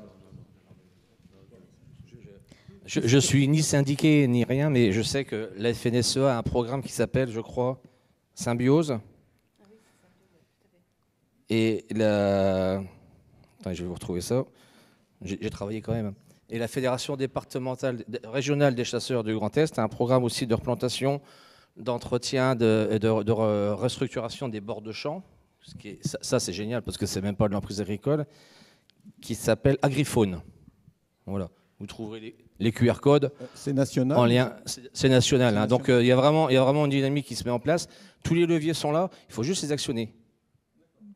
Et euh, pour, pour répondre à votre question, en Ile-de-France, la FNSEA est vraiment le syndicat majoritaire. Euh, notre association accompagne une centaine d'agriculteurs. Euh, je pense que la majorité euh, est syndiquée à la FNSEA, donc voilà, ou, pas syndiquée, parce que c'est en tout cas pas la Confédération paysanne qui est représentative en Ile-de-France. Euh, donc je, voilà, je, pense que ça vient des agriculteurs plus que, que, que des syndicats, après qu'ils soient syndiqués à la FNSEA, quelque part, euh, je ne pense pas qu'ils répondent à des directives de, de la FNSEA ou des, des orientations de la FNSEA pour euh, planter ou, ou- ou pas, en fait. C'est vraiment, je pense, un mouvement de, de fond de, de- la profession euh, au-delà des syndicats, il me semble. Oui, mais quand il y a une mobilisation, ils sont tous derrière, donc euh, Mm. ça veut dire que quand même ils sont capables de suivre la FNSEA quand, euh, mm, mm. quand elle parle. Alors, au- autre question pour vous. Vous disiez tout à l'heure que en fait, vous aviez euh, investi 1%, un- un 1% et demi, c'est ça En fait, vous aviez une perte, mais en fait, vous en tirez un bénéfice, forcément. C'est peut-être ça qu'il faudrait expliquer aux agriculteurs. C'est qu'il y a un bénéfice derrière. Pas forcément financier, mais il y a un bénéfice. Malheureusement, je, je ne vis pas dans le monde des bisounours. Non, il n'y a pas de bénéfice. On peut euh, imaginer une armée d'insectes auxiliaires qui vont être là euh, pour euh, détruire les pucerons. Mais euh, en fait, c'est l'inverse qui se passe. Les, pucerons colonisent les, les- les- les parcelles, les, les- les- consomment et en profitent de cette manne alimentaire pour se multiplier et euh, limiter leur croissance. Mais c'est le puceron qui arrive en premier. Cette année, vous avez vu, il y a plu un petit peu. On a une foultitude d'escargots, mais aussi de limaces. Et le long de haies, eh ben, j'ai des dégâts de limaces sur la culture de betterave notamment. Bon, c'est acceptable à mon niveau parce que j'ai l'esprit assez ouvert pour, pour voilà. Et puis ces limaces, euh, elles, sont en train de nourrir les faisans et les perrots qui vont bientôt éclore. Donc euh, elles sont, bienvenues tant que, les dégâts restent limités. Mais euh, voilà, la, la, haie, là-bas en herbé, abrite des insectes et des oiseaux qui sont tour à tour néfastes, tour à tour auxiliaires. C'est vraiment une alchimie qui est très très com- compliquée à, cerner. Moi, je, fais que je fais que regarder et admirer à chaque fois, mais je gère rien. Je gère rien. Oui, c'est compliqué, mais il y a quand même euh, l'apport de protection euh, contre le vent, l'érosion, euh, l'humidité. Enfin, pas la protection contre l'humidité. On en a parlé tout à l'heure, mais Voilà, vous, avez raison. L'érosion, elle est fortement limitée. Aujourd'hui, on- parle de, apports. on parle de stockage de carbone et, et- et- et de- d'agriculture de conservation des sols. C'est des choses qu'aujourd'hui on sait faire avec des matériels qui sont adaptés à ça. C'est-à-dire que la charrue, elle est prohibée ou presque. Euh, on, a une vie microbienne. Je, participe à euh, l'OPVT, je ne sais pas si ça vous dit quelque chose, l'Observatoire participatif des vers de terre. Ah oui. Voilà. Et je, je fais, je fais, je fais euh, ces comptages tous les ans et je vois évoluer sur ma- mon exploitation. Mais ce qui est dommage, c'est que j'ai aucun retour au niveau national. Donc je ne sais pas si je suis là, là ou là dans le. Bon, c'est pas grave. Je le fais quand même parce que ça m'amuse. Mais euh, voilà, il y, a- il y a des choses. Aujourd'hui, les agriculteurs sont pas idiots. Ils savent travailler, ils savent travailler intelligemment. Il y en a, il y a, il y a des gens pour qui il n'y a rien à faire. Vous savez, j'ai mon grand-père, il disait beaucoup de choses. Il disait euh, un veau, ça peut devenir une vache. Mais un con, euh, voilà, ça reste un con. Ouais, euh, je voulais intervenir justement sur euh, les, je crois que c'est les prestations hein, des services environnementaux, c'est-à-dire que notre société doit financer les agriculteurs pour la préservation de la biodiversité, la préservation des sols, la préservation de l'eau, etc. Euh, c'est un coût euh, parce que le- les apports, c'est peut-être en long terme pour l'agriculteur, mais c'est du long terme. Donc en court terme, euh, les investissements ou les privations de revenus, de rendement que cela occasionne, doivent être financés par la collectivité. Je représente la LPO, Comité de bassin Seine-Normandie. J'essaye d'être un de ceux qui poussent pour augmenter les subventions pour les, prestations et services environnementaux. C'est absolument essentiel. Une deuxième partie de mon intervention concerne euh, le, périurbain et urbain. Bon, je pense que l'enjeu biodiversité euh, euh, et sol vivant, c'est bien en milieu rural que ça se situe. ceci dit, la biodiversité, elle doit être partout. Elle est aussi en milieu périurbain et urbain. Et la population, elle est en périurbain et urbain. Hein, de façon très majoritaire, on le sait. Et donc la conscientisation euh, à l'importance de la haie devrait euh, se faire dans ces milieux-là. Je suis catastrophé par euh, le béton vert dont vous avez parlé, c'est-à-dire une fonction de haie, de, je ne vais pas dire de protection, parce que pour moi, ce n'est pas la protection, c'est chacun chez soi, et donc l'invisibilité par rapport aux autres qui fait qu'on a des haies mortes. Et pour, ceux qui, pour, pour ces haies-là, mais aussi pour toutes les autres qui peuvent être vivantes, l'élagage systématique au printemps, euh, parce qu'il faut, empêcher que ça pousse, etc. Et donc, euh, l'inculture par rapport euh, aux besoins biologiques du vivant. Je, trouve ça catastrophique et je ne sais pas comment on arrivera à revenir là-dessus rapidement. Voilà. Donc, deux sujets. Pour rebondir sur votre question, finalement, il me semble que L'essentiel est sûrement, et c'est pour ça peut-être que j'ai envie de donner la parole à, Sonia là-dessus, c'est que euh, il me semble que l'importance du récit, et euh, parce qu'on parlait sur la table ronde précédente de, Colbert et euh, de nos jardins à la française, magnifiques, mais très très bien taillés, contrairement aux jardins anglais. et peut-être que c'est aussi une question de récit, puisque finalement, moi, je pense à mes grands-parents. Qu'est-ce qu'ils font euh, à chaque fois euh, dès que l'hiver est passé? Euh, Jean, tu iras bien tailler la haie. Voilà, donc notamment parce qu'il faut que ça soit clean, parce que sinon, à qui est la haie? Alors si c'est au voisin d'à côté, il faut aller tailler la haie du voisin d'à côté. Donc la question qu'on se pose, c'est plutôt comment raconter un récit collectif, peut-être pour aller dans votre sens, où, finalement, on va dire, quand c'est un peu plus fourni, c'est pas grave. Je souscris, je suis complètement d'accord, ça c'est sûr. Euh, euh, euh, voilà, on, change d'ailleurs. Hein, je veux dire, on, laisse les feuilles mortes de plus en plus en place. on on tombe plus nos, mots in May, etc. on utilise d'autres, d'autres couvre-sols. Que, il y a plein de choses qui se passent. Sur le récit, c'est vrai que moi, c'est mon métier, donc j'utilise les mots. Je suis assez pour euh, des bottes en caoutchouc et des mots. Parce que par ailleurs, le problème du récit, c'est qu'on peut vite virer aussi au greenwashing. Vous parliez du milieu urbain. Derrière chez moi, il y a un ancien hôpital. Euh, qui a été racheté par la mairie de Paris. Qu'est-ce qu'elle a fait? Elle a commencé, elle a dit on va faire un écoquartier. Elle a abattu 50 arbres, près de 50 arbres qui, faisaient, qui avaient au moins 50 ans. Moi, ça fait 20 ans que je suis là, je les voyais pousser.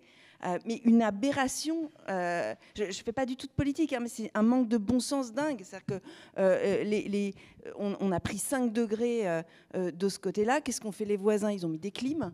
on se marche sur la tête. Et ensuite, pour remettre quoi? Alors oui, effectivement, peut-être des Fotinia, mono. Enfin bon, c'est plus des, des, des Okuba ou, ou, des Troènes, mais enfin bon. je pense qu'avant le récit, il faut euh, il faut expérimenter, il faut favoriser ça. Alors pour le coup, euh, chez les enfants, encore une fois, hein, c'est eux qui vont, euh, qui vont nous succéder et il faut leur ouvrir les yeux, il faut leur apprendre, les faire toucher. la sensorialité aussi. Du, vivant, elle est extrêmement importante. C'est que on peut admirer déjà sans, sans toucher, sans, sans, avoir envie de posséder, sans bêtifier, sans anthropomorphiser. Euh, on peut ressentir. Euh, tout ça, c'est des questions d'apprentissage. Deux, deux secondes. Je, rajoute juste un mot. Vous, parliez de faire payer la collectivité pour les services rendus par les agriculteurs, pour les services euh, non rémunérés par les agriculteurs par ailleurs, donc une perte de revenus. Euh, là, ça touche le cœur du sujet. C'est ce que je vous disais tout à l'heure. Il faut internaliser une externalité négative. En gros, protéger l'environnement. Aujourd'hui, ça coûte de l'argent, ça vous rapporte rien. Euh, de même que quand votre opérateur téléphonique vous dit que vous avez le droit de changer votre iPhone tous les deux ans, etc. Et là, et là je, reviens un petit peu sur la notion de consommateur aussi. C'est à nous aussi au quotidien de regarder ça. Je pense que typiquement, plus on demandera de services, j'ai pas de problème à ce qu'on demande de services aux agriculteurs, euh, si c'est pour replanter, etc. Plus il faudra rémunérer mieux leurs produits locaux et, arro- par exemple, d'importer des produits euh, agricoles moins disants, y compris ceux de l'Union européenne. Donc ça, c'est un point aussi qui me semble assez intéressant. Et c'est à nous si ça, va peut-être nous coûter plus cher d'aller acheter des meilleurs produits euh, qui sont euh, avec des normes qui nous conviennent. On s'achètera peut-être pas le dernier pull de chez euh, ou de chez Sœur ou je sais pas quoi, mais au moins, si vous voulez, on aura, on aura eu ce- ce- ce- ce- ce- ce- cet impact-là. Et ça, ça pose, c'est une question absolument fondamentale et, et quasi philosophique. L'environnement, ça coûte rien à détruire. Euh, ça coûte à protéger. Donc, qu'est-ce que je fais moi au quotidien pour, pour faire ça? Parce que si c'est la collectivité, finalement, c'est une responsabilité qui est diluée euh, au travers des prélèvements d'impôts indifférenciés, et c'est pas pas le pas le consommateur qui, le fait. Moi je pense, pardon, hein, mais pardon, je fais pas de politique non plus, ni, trop d'économie, mais il me semble que quelqu'un qui prend un produit qui est moins 10 ans devrait lui être sanctionné financièrement. Donc c'est ça, il y, y a un débat à avoir là-dessus. Juste, ça coûte rien sur le moment, mais ça coûte. voilà. Non, bien sûr, dans l'échelle du temps évidemment. Oui, oui, je suis d'accord. Euh, après, ce que, pa- par rapport aussi au, au fait qu'en milieu urbain, vous parliez des, ou périurbain des, des haies, euh, il a été, euh, il y a eu des, des- articles ou même des, des essais qui ont été faits sur le, le bocage urbain. Euh, comme il pourra y en avoir, je pense, sur la forêt urbaine. C'est-à-dire qu'à un moment donné, il ne s'agit pas d'accoler le mot urbain euh, à des choses qui relèvent en fait de, typologies certainement mal définies. Parce que c'est vrai que si on arrive à parler de, bocage urbain ou de forêt urbaine, ça veut dire qu'on ne sait pas vraiment de, quoi on parle. Et donc là, il y a vraiment un problème.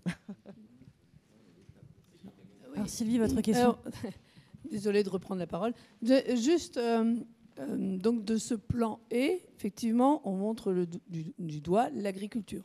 Donc on veut redéfinir un paysage agricole. Mais finalement, le maillage de la France, c'est quand même des voies ferrées, c'est quand même des autoroutes, ce sont des départementales, des, des nationales, même si on les appelle plus comme ça. Et là, on ne replante pas de haies. Donc quid de l'espace non agricole qui pourrait être planté en haies Vous voulez dire le long des. Excusez-moi, mais je pense que d'une manière, euh, votre question est excellente et je pense que d'une manière générale, on fait quand même par moment porter euh, une charge un tout petit peu trop lourde aux agriculteurs. Je suis complètement d'accord avec vous. Il y a un moment, il faut quand même se calmer. On a, euh, enfin, il faut que le législateur se calme. Je suis dix fois d'accord avec vous. Euh, on a l'une des agricultures les, les- les plus splendides du monde. Je veux dire, alors on peut, on peut dire qu'elle est perfectible, on peut dire qu'on peut faire autre chose. Elle a été quand même capable de nourrir des, des- des générations de personnes depuis les années 60. Je veux dire, enfin, faut- C'est quand même fascinant. Moi, l'histoire de l'agriculture me fascine. Euh, de Gaulle, alors oui, il y a eu le remembrement et la destruction des. On crevait de faim, on sortait de la guerre. On a l'excédent commercial agricole date des années 60-70, c'est ultra récent. Donc c'est qu'on est capable de faire ça. Aujourd'hui, on est capable de se rendre compte qu'on arrive à mettre des, contraintes sur les agriculteurs tout en ayant aussi une certaine forme de production. Donc je suis assez d'accord. Je, finis rapidement effectivement pour répondre à votre première partie de question. Il y a un moment, il faut peut-être effectivement lâcher les agriculteurs, améliorer ce qu'il y a d'améliorable évidemment. Les, les haies font partie, pour partie de cela. Je suis très content d'avoir lu le bouquin de François parce que c'est vraiment la démonstration que ça peut marcher. Et après, il y a plein d'autres pans évidemment. Les 23 000 mètres carrés, dont vous, les 23 000 km dont vous parliez tout à l'heure, les, les agriculteurs, c'est pas les seuls qui ont éclaté. Euh, je pense que les, haies à exploser sur les zones agricoles, bah, il y en a plus. Enfin, je pense. hein, enfin, sur les trois quarts des 23 000 km dont que vous évoquez tout à l'heure, je pense qu'on va, il y, a- probablement d'autres secteurs. Oui, évidemment, bien sûr, on pourrait replanter euh, partout. Et ça fait des petits îlots à chaque fois. Enfin, c'est peut-être toi qui pourrais nous en, en parler, du reste, euh, des îlots de communication euh, de haie à haie. Il y, a- les haies qui sont, euh, bien sûr, on, en a parlé pendant plus d'une heure. Moi, j'ai préféré faire des buissons, des bosquets, c'est-à-dire qu'il y a euh, 4 mètres de large sur 20 mètres de long, plantés avec des, arbustes de basse tige. Euh, ça ne me gêne pas du tout dans mon travail agricole. Et en termes de rapport, de ratio emprise agricole et euh, effet bénéfique pour la diversité, je pense que c'est le meilleur ratio. C'est-à-dire qu'il y a vraiment, c'est 0,008 hectares d'emprise. Et euh, à chaque fois, c'est euh, une nichée de perdreaux, euh, un couple de traque et pâtre, une bergère en printanière, et puis un couple de bercenderie qui tourne autour. Et ouais, une, haie, c'est beau, mais quand il y a plein de petits buissons comme ça partout, et quand j'essaie de défendre mon projet devant les agriculteurs, je leur dis juste fermez les yeux, imaginez votre territoire, mettez 100 buissons dedans. Les gars disent ouais, ça fait beaucoup. Eh. Mais pourtant, en incidence financière, c'est peanuts. Et le rapport euh, écologique, il est vraiment important. Vous, parlez de rentabilité. Alors, j'ai pas, pas la solution, mais j'en ai une. Je vais vous expliquer comment je fonctionne moi. Il y a quelques années, j'ai eu l'occasion de découvrir la graouze. La graouze, c'est un petit tétraonidé euh, qui est endémique à l'île d'Écosse. Et les, propriétaires terriens vendent le droit de chasse à des organisateurs de chasse, qui vendent l'oiseau à des chasseurs, qui revendent l'oiseau à des restaurateurs, qui revendent l'oiseau aux consommateurs dans son assiette. Et c'est une économie colossale qui permet aujourd'hui de, préserver les mours. Les mours, c'est ces vallons avec euh, la bruyère qui est l'habitat euh, de, de- cet oiseau-là. Et aujourd'hui, c'est par le prélèvement, par la mort, le sacrifice, on va dire, de ce vous voulez, de, quelques oiseaux, qu'on arrive à préserver cet écosystème-là. Et j'ai essayé de le répercuter un petit peu à mon échelle, mais différemment. C'est-à-dire qu'aujourd'hui, on a une quantité de chasseurs qui sont. Ils veulent, du vrai. Les jeunes, chasseurs, les chasseurs juifs, ils veulent du vrai, ils veulent plus l'artificiel, ils veulent plus de lâcher l'oiseau, ils veulent pas chasser dans les enclos. Ils veulent euh, un petit tableau de qualité. Et tous les aménagements que j'ai consentis occasionnent un manque à gagner sur une exploitation de 2,30 euros de l'hectare. Et je me dis juste que par la location du terrain à des chasseurs à 3 euros de l'hectare, l'agriculteur il, retrouve son manque à gagner et le chasseur il est heureux de promener son chien dans un territoire riche, riche en biodiversité et riche en gibier. Euh, Excusez-moi, mais juste On a Anna qui va pour, euh, pour resituer, euh, il n'était pas question dans cette table ronde forcément non plus de la chasse, mais de parler effectivement euh, des haies, de l'intérêt d'avoir de la biodiversité euh, dans le monde agricole. Et je pense que c'est important de resituer là pour la fin du débat, euh, qu'on parte pas trop sur la chasse non plus. Parce qu'en l'occurrence, il n'y a pas de personne pour euh, défendre un peu l'autre côté, il n'y a pas de personne de la LPO qui est là à la table ronde. Je me permets simplement de recadrer à la fin parce que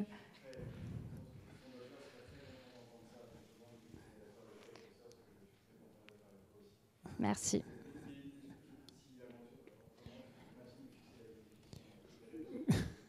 Avec plaisir. Et je me permets de redonner la parole à une personne qui voulait poser une dernière question. Ah, Alors, euh, ouais. Alors, moi, moi, je ne suis pas chasseur. Remarquez, euh, on n'a pas parlé des haies, des cyclistes. hein. Fi- Figurez-vous que les, les- les haies, on, on s'en sert dans, pour les coureurs cyclistes. Elles sont bien pratiques pour, pour nous abriter du vent. sa- Sachez-le. Enfin, bon, c'est- C'était une petite, euh, une petite aparté. Alors, j'ai une question Internet, évidemment. Euh, vous savez qu'on est très suivi ce soir. J'ai une question de Valérie qui, vous parle de quelque chose. Alors, on n'en a absolument pas parlé. Le déploiement de la fibre optique aérienne. Est-ce que c'est une source de destruction des haies? Comme euh, apparemment il a été, euh, la question a été abordée par le CESE des Pays de la Loire. Vous avez une info là-dessus ou pas? Le déploiement de la fibre optique c'était, euh, c'était, c'était qu'effectivement, lorsque le, euh, euh, le- il y avait une partie de, la, de l'abattage de la haie qui était financée par l'opérateur de téléphonie.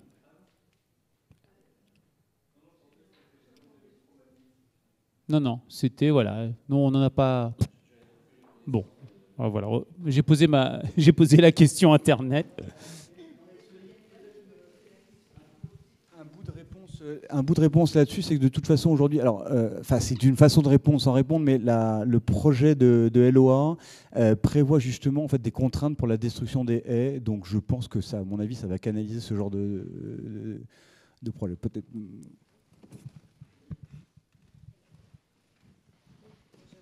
C'est bon, mais j'ai déjà un micro. Euh, c'est juste un tout petit témoignage. Moi, je suis euh, journaliste et, euh, et, autrice. Enfin, je vois un peu la manière dont fonctionne aussi la communication. Quand, quand, vous dites que vous allez replanter 10 km de haies, vous pouvez faire un article parce que ben voilà, il y a un truc à annoncer. quand vous dites on a évité de détruire des haies, ou on a évité de détruire un patrimoine naturel, bah, vous ne faites pas un article, ça, ça fait parler personne. Deuxième petit point, euh, la calcul de notre richesse, entre guillemets, euh, elle se fait euh, avec de la valeur pécuniaire. Vous détruisez une haie, ça rapporte des sous. Vous la replantez, vous dépensez des sous, vous contribuez au PIB.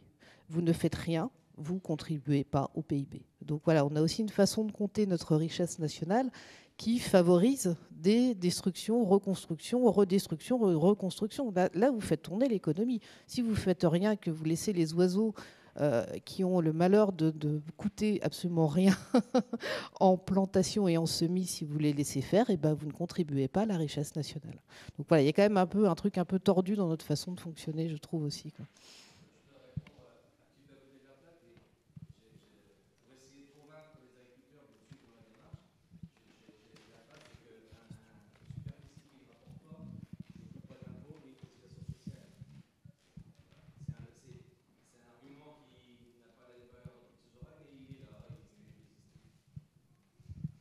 On va vous remercier, il est 21h.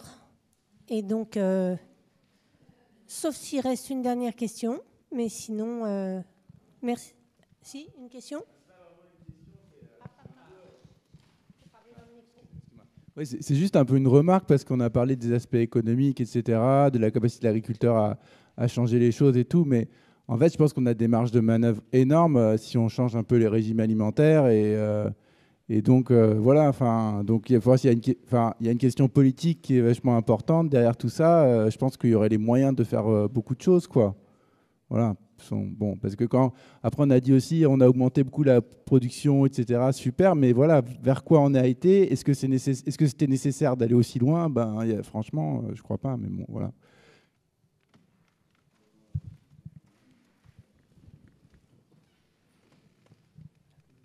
Bon, cette fois-ci, c'est le mot de la fin. Merci beaucoup, beaucoup, beaucoup à tous d'être là. Ouais, tu as, le livre à présenter juste avant. Euh, donc, euh, vous dire que euh, les jeudis de l'école, on remercie énormément l'Académie du climat de nous accueillir et de nous prêter cette salle et, et, ces locaux et de mettre à disposition, de mettre à disposition cette salle. Vous dire qu'on fait une pause estivale euh, et donc, on reprendra les prochains jeudis de l'écologie en septembre.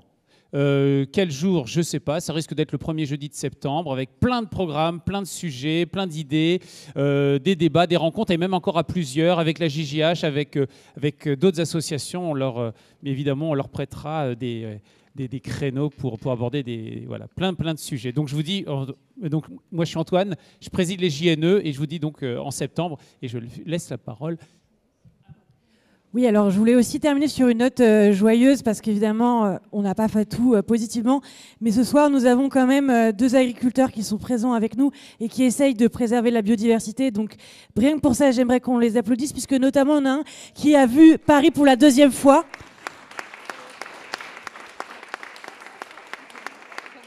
Je trouve aussi, et là c'est le petit moment présentation, alors moi je voudrais à titre personnel remercier, euh, parce que je l'ai harcelé, mon maître de stage, euh, Sylvain Peltreau, d'être venu euh, vous parler aujourd'hui.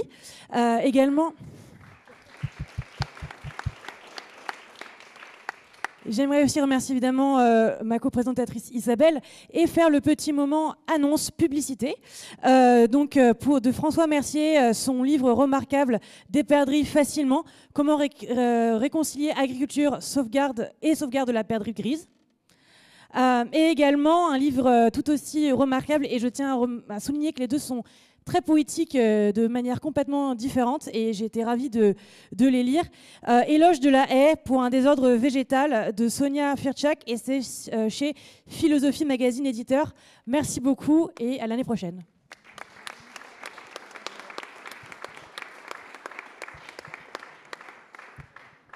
Et je me permets aussi de dire, si jamais ça vous intéresse, la LPO organise des chantiers participatifs de plantation de haies dans des champs agricoles. Donc n'hésitez pas à regarder sur notre site si vous voulez participer et planter directement des haies euh, chez des agriculteurs.